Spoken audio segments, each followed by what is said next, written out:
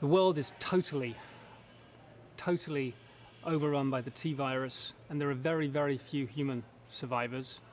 The undeads, the biohazard, have evolved, so they are now intelligent, but also their uh, physiques have changed. Their mouths open, mandibles come out of their mouths, so they are getting stronger and more intelligent. And Alice herself, the character that Milla Jovovich evolves, um, plays has evolved as well. She is uh, beginning to find the support and the confidence to really challenge the Umbrella Corporation. And I believe more than in any of the other films, we give the sense in this one that she might actually win. The movie has big guns, beautiful women, dogs with heads that explode, uh, awesome landscapes. You're in Tokyo, you're in Alaska, you're in Los Angeles, but uh, most importantly, it has Milla, and Milla is on fire in this movie.